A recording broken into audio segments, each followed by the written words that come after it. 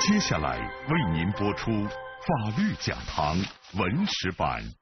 他是皇帝器重的臣子，也是身居要职的地方大员。可是乾隆一次委以重任的调用，却让他心生不满，进而策划了一桩惊天大案。上百名官员的共同参与，长达数年的作案时间，是什么让一个被皇帝重点培养的官员突然转变，走上一条不归之路？又是怎样的机缘巧合，让看起来天衣无缝的案件突然真相大白？法律讲堂文史版特邀国家行政学院焦虑为您讲述清朝集体贪腐第一大案第一集。憋屈的平调。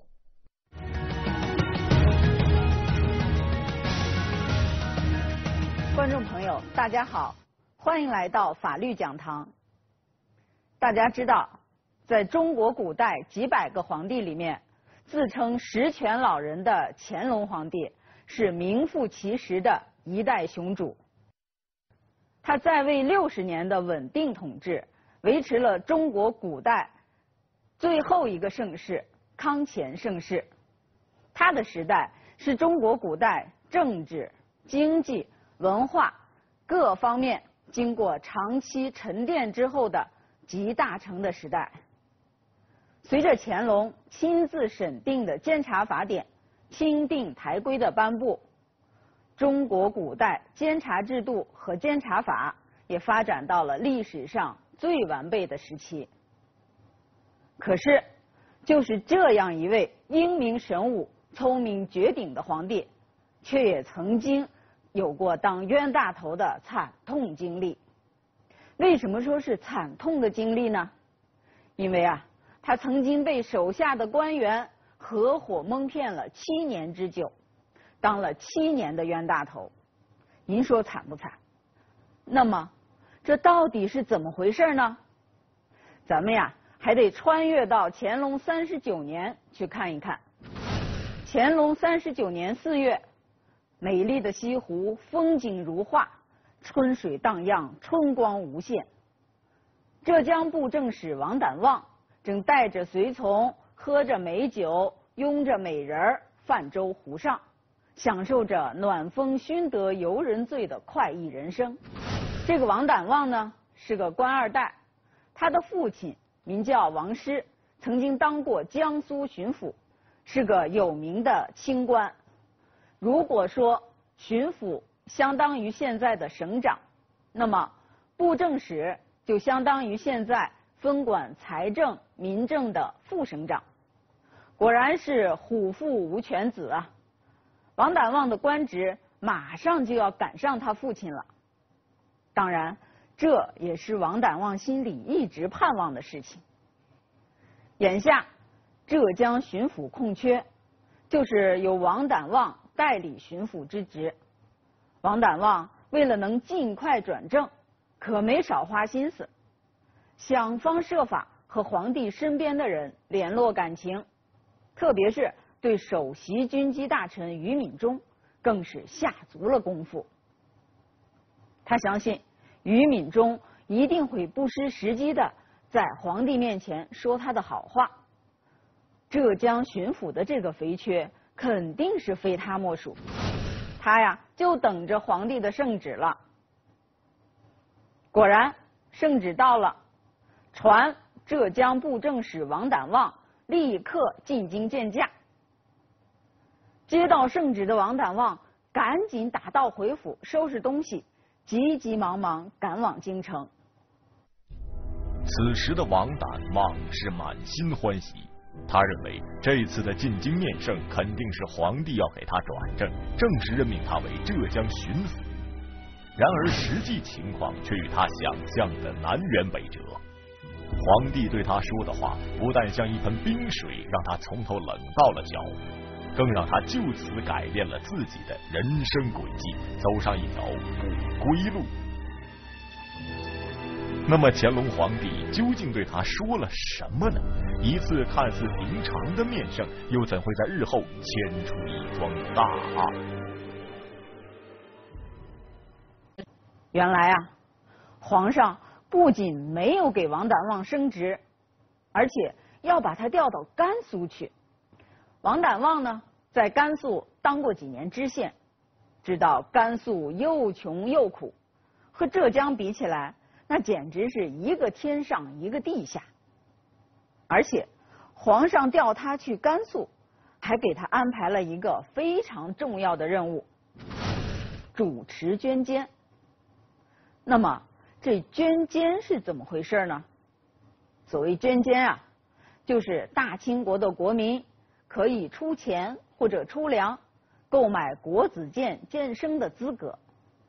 国子监呢，是当时国家的最高教育机构，也是培养干部的教育基地。如果有人考不上秀才，不能凭科举进入仕途，那么取得监生资格。就是进入仕途的第一步，所以啊，捐监说白了就是买文凭，卖文凭的钱呢就归户部，也就是归国家财政了。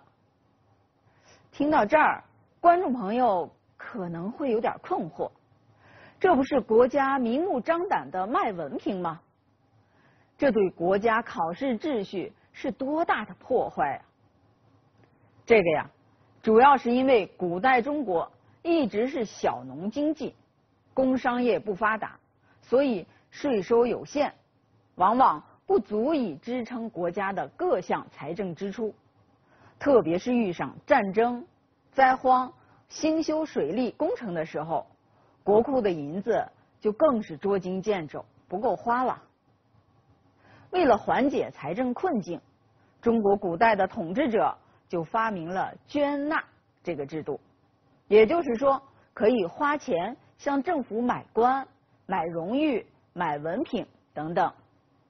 正是由于捐纳制度对国家正常的统治秩序有极大的负面影响，所以历朝历代一开始对于捐纳制度都限定在一个很小的范围之内。清朝呢也是这样。康熙十三年开始小范围实行捐纳制度，到乾隆登基的时候，鉴于捐纳的种种弊端，就下令要罢除一切捐吏。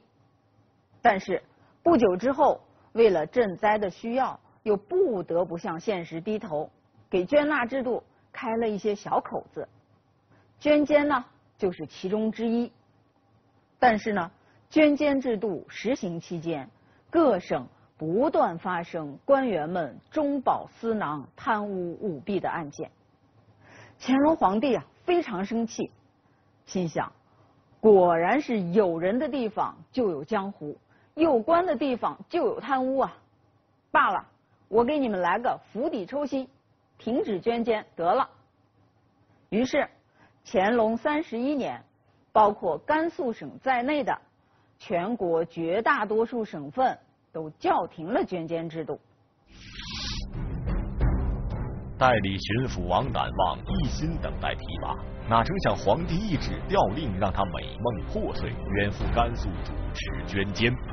那么，一个早在八年前就已经被基本废止的制度，为何又会重新启动？皇帝特意将远在浙江的王敢望调往甘肃，又是何用意？乾隆的一片苦心，为何会是一桩贪腐大案悄然拉开序幕？重新启动的捐监工作与日后的大案之间有何联系？法律讲堂将继续为您讲述清朝集体贪腐第一大案第一集：憋屈的领料。是清朝历史上最大的一起集体贪腐案，两任布政使主使，全省百余名官员相互串通，谎报灾情，私分赈款，蒙蔽乾隆长达七年时间。如此大面积的贪腐，为何无人告发？当地民众又为何视而不见？案件因何露了马脚？面对集体贪腐，乾隆为何会派另一大贪官前去查案？铁证面前，乾隆如何裁断？清朝集体贪腐第一大案，敬请关注。乾隆教廷捐监，对其他省可能影响不大，但是对甘肃省却是影响巨大。大家都知道，甘肃地处西北，本来就地级民贫，属于全国最穷的省份之一。再加上清朝初年蒙古准噶尔为乱，康熙、雍正、乾隆三朝多次对西北用兵，乾隆继位以来又有平准定回之战，甘肃啊。连年需要供应前线所需的一夫军粮，当地百姓的生活因此更加困苦。甘肃停捐之后呢，为了解决当地居民的吃饭问题，户部每年需要拨给甘肃一百多万两银子。但是，即便如此，全省仍然缺粮，粮价奇高。所以啊。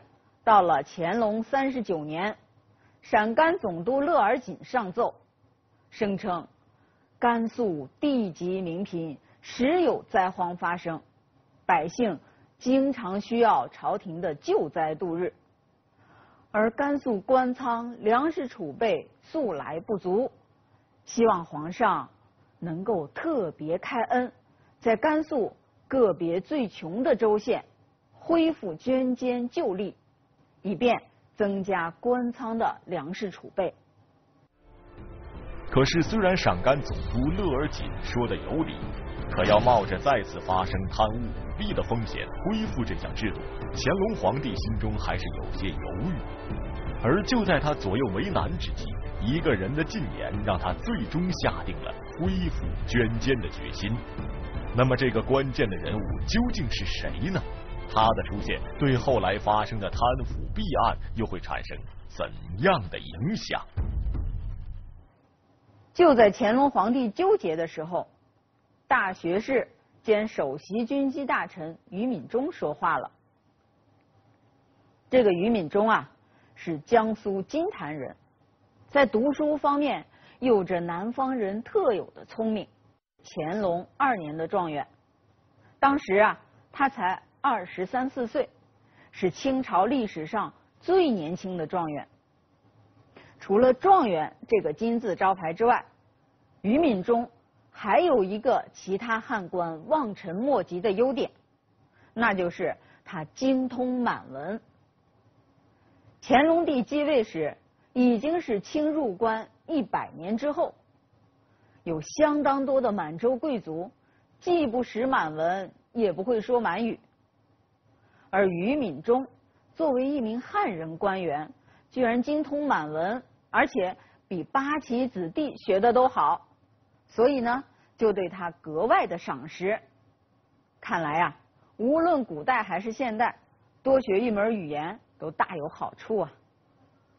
当时，于敏中还负责管理户部，他认为乐尔锦所奏确实是实情，如果。能恢复甘肃的捐监，让有财力的人交纳粮食，捐为监生，既可以为户部节省每年一百多万两银子的拨款，还可以省去官府买粮食的麻烦。遇有灾荒，老百姓可以很快就近获得赈济，于国于民都是一件好事。万一灾民不能及时得到救济，闹起事儿来，那不是破坏咱康乾盛世和谐稳定的大好局面吗？反正于敏中是力劝乾隆皇帝同意乐尔锦的奏请。换了别人说这事儿，皇上可能也就是听听而已。但是于敏中不一样，他在皇上心中还是很有分量的。到乾隆三十八年，于敏中。成为文渊阁大学士，并以大学士兼任军机大臣，仍管理户部事务。同时呢，还担任国史馆、四库全书馆、三通馆正总裁，并负责皇子的教育，在尚书房任总师傅。所以，于敏中的意见对乾隆还是非常有影响力的。既然于敏中说恢复甘肃捐监的好处多多，那就恢复吧。就这样，乾隆在于敏中的说服下，同意在甘肃部分恢复捐监。但是，究竟派谁去才能既干好工作，又杜绝贪污腐败，不再重蹈覆辙呢？为了这个人选，乾隆皇帝冥思苦想，想来想去，他最终选定了代理浙江巡抚王胆望。那么，他这样做的理由究竟是什么呢？那么，皇上为什么会选中王胆望呢？我想。大概是基于以下几点：第一，王胆望是清官的儿子。老百姓说“龙生龙，凤生凤”，老鼠的儿子会打洞，这种血统论的观点对中国人的影响还是挺大的。所以，乾隆认为贪官的儿子十有八九是贪官，而清官的儿子也十有八九是清官。而王胆望的父亲王师，就是大清国著名的清官，一直是勤政爱民、两袖清风、平反冤狱、岛民垦荒，不仅建树很多，而且官声很好。乾隆觉得王胆望也应该有乃父之风。第二，王胆望熟悉甘肃情况，因为。他有在甘肃任职多年的经历。王胆望刚入仕途，就是在甘肃的山丹、高兰等县当知县，后来呢又升为宁夏知府。清朝的时候，宁夏也是属于甘肃省管辖的。再后来啊，王胆望才由宁夏知府升为浙江布政使。第三，王胆望。非常能干，是乾隆认定的能事之藩司。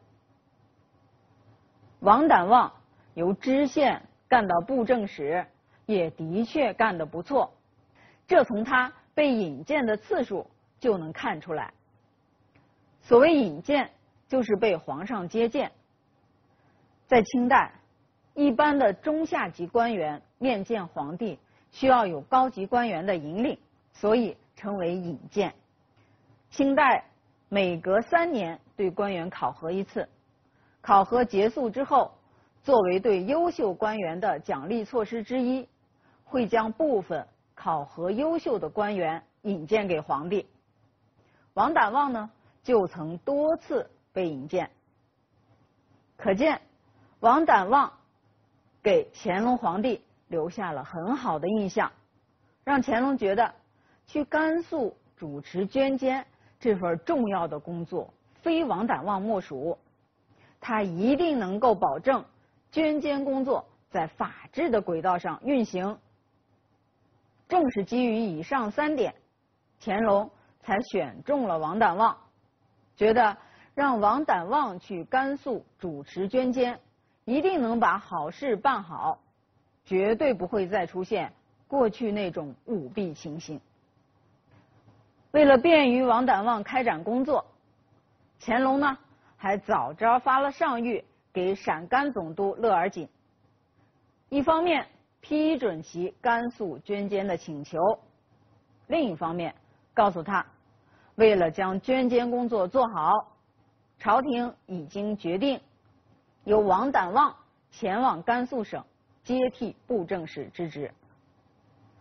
乾隆帝还在这道谕旨中。告诫勒尔锦说：“一方面要全力配合王胆望工作，另一方面也不要忘了作为总督的监督职责。因为清朝的总督历兼督察院右都御史，同样具有监察百官的责任和权利。满以为方方面面都安排妥当的乾隆皇帝。”万万没有想到，用错一个人，带坏一批人。他不知道，任用王胆望主持捐监，将会给国家带来多么大的损失。迫于形势，乾隆决定在甘肃恢复捐监。为防贪污，他特命王胆望前往主持工作。皇帝此举本是出于对他的信任，哪曾想一场长达七年的贪腐大案却由此拉开了序幕。那么王胆旺究竟是出于什么原因，甘愿冒着杀头之罪，也要策划出这出重案？他一步步精心布局的背后，到底隐藏着怎样的动机？法律讲堂将继续为您讲述清朝集体贪腐第一大案第一集。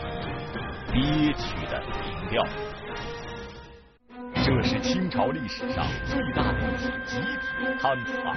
两任布政使主使，全省百余名官员相互串通，谎报灾情，私分赈款，蒙蔽乾隆长达七年时间。大面积的贪腐，为何无人告发？当地民众又为何视而不见？案件因何露了马脚？面对集体贪腐，乾隆为何会派另一大贪官前去查案？铁证面前，乾隆如何裁断？清朝集体贪腐第一大案，敬请关注。可惜啊，此时的王胆旺面对皇帝的殷切期望，心里是万分的失望和一百个不愿意。第一呀。和浙江比起来，甘肃实在是太穷太苦了。大家都知道，浙江那是上有天堂，下有苏杭，江南宜居之地，温柔富贵之乡。而甘肃呢，地处西北边陲，哎，春风不度玉门关，西出阳关无故人呐。所以王德旺不愿意去。第二点呢？平调到甘肃，王大旺觉得不合算。一般的官员呀，都愿意到富裕的地方去任职。如果派到艰苦的地方去，那一般去了要提拔一下。那现在呢，王胆旺调到甘肃又不提拔，平调过去，那他当然也不愿意。第三呢，就是王胆旺在甘肃待过一段时间。在甘肃这个一穷二白的地方，想要把捐监工作做好，那简直就是踩着凳子舔鼻子，努死了也够不着，因为他太了解甘肃了。不过，王胆旺绝不会让皇上看出自己的不乐意，老实说，他也不敢呢。带着这样的心情来到甘肃。步入和浙江比起来堪称简陋的布政使衙门，王胆旺看着什么都不顺眼，怎么待着都不舒服。真应了那句古话：“由俭入奢易，由奢入俭难”呐。怎么办呢？王胆望又想到了首席军机大臣于敏中，本以为他会帮忙。把自己推上浙江巡抚的宝座，没想到却被推到甘肃来了。虽然他也知道于敏中不可能完全左右乾隆的意图，但是心里还是颇为不满。不过事后于敏中的暗示还是让他看到一线希望。甘肃虽然艰苦。却可以曲线救国，只要干出政绩来，再加上于大人的适时推动，提拔的可能性还是有的。想到这儿，王胆旺觉得又有劲儿了，一定得想办法改善自己的办公和生活条件，一定得创造条件，让自己尽快离开这个鸟不生蛋的鬼地方。经过一番深思熟虑。王胆旺担任编剧兼导演的一场大骗局正式拉开了帷幕。于是啊，乾隆三十九年十月，也就是王胆旺到甘肃走马上任半年之后，乾隆皇帝就收到了这位能事之藩司送来的奏报。奏报说，甘肃六个月内捐监生员。一万九千零一十七名，共收捐粮八十二万七千五百多担。这个数字太大了。当年户部的报捐人数也才有一万一千七百三十九人。甘肃半年的工作业绩，居然超过户部干一年，所以啊，这份报告让皇帝都惊叹不已。因为报出这个大数的地方是以贫穷著称的甘肃，报出这个大数的时间仅仅只有半年，而此时与王胆望同在兰州办公的陕甘总督乐尔锦。惊恐的发现，王胆望给皇帝的奏报其实是撒了一个弥天大谎，因为他所报的八十多万担坚粮，完全是纸上谈兵，官仓中实际上一粒坚粮也没有。这到底是怎么回事呢？我们明天接着讲，观众朋友再见。